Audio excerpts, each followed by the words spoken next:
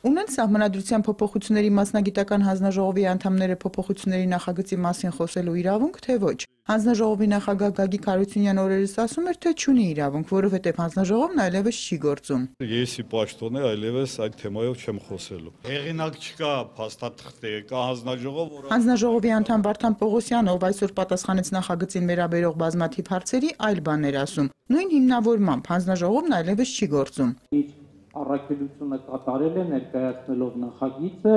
եւ հետեւաբար այստեղ որևէ խոսք որևէ օրենքի խախտման մասին չի կարող լինել։ Փոփոխություններին դեմ ուժերի հայտնի տեսակետը իշխանությունների վերարտադրվելու մտադրության մասին քննարկման ընթացքում ներկայացրեց հականդամ Լևոն Զուրաբյանը։ Ինչու է փոփոխում սահմանադրությունը։ Հարցը ըստ նրա մեկ պատասխան ունի, որովհետև գործող սահմանադրությունը 2018-ից հետո Սերժ Սարգսյանին թույլ չի տա պաշտոնավարել որպես նախագահ։ Եվ սա է պատճառը, որ նա նախաձեռնել է խորհրդարանական ը, հանրապետությանը անցում,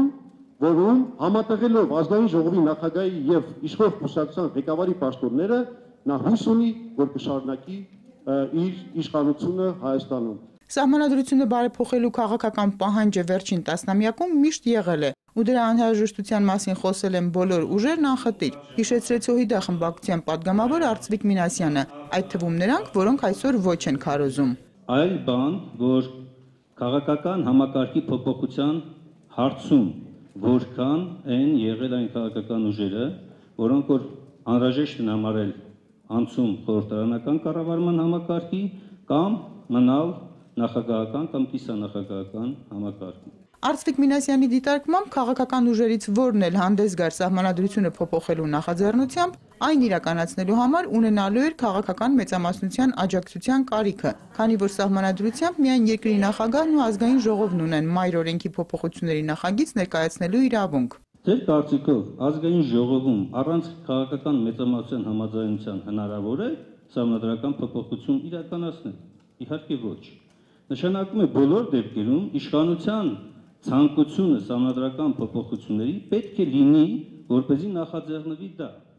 Ովքեր դեմ են առաջարկվող փոփոխություններին, կողմ են այսօր գործող կիսանախագահական համակարգին, ասաց Արծվիկ Մինասյանը։ Իսկ դեմերը գոնե առերևույթ դահլիճում շատ էին։ Նրանք չեք անցկացնի շարժման անդամներն էին։ Շարժումն ի դեպ չի շտապում դիրքորոշում հայտնել իրենց իսկ անդամների նախաձեռնությամբ ձևավորված նոր Հայաստան փրկության ճակատի վերաբերյալ։ Ճակատից դուրս մնացած հակն էլ, ինչպես Սեֆիլյանը 3, ընդունում է, որ իրենց միջև կան մարտավարական տարբերություններ, բայց կա նաև պայմանավորվածություն միմյանց չկշտամբելու մասին։ Տարբերություններից խոսել Զուրաբյանը չուզեց։ Ես պրոդուկտիվ չեմ համարում մեր տարբերությունները, որոնք իսկապես էական չեն արդյունքի առումով, ը,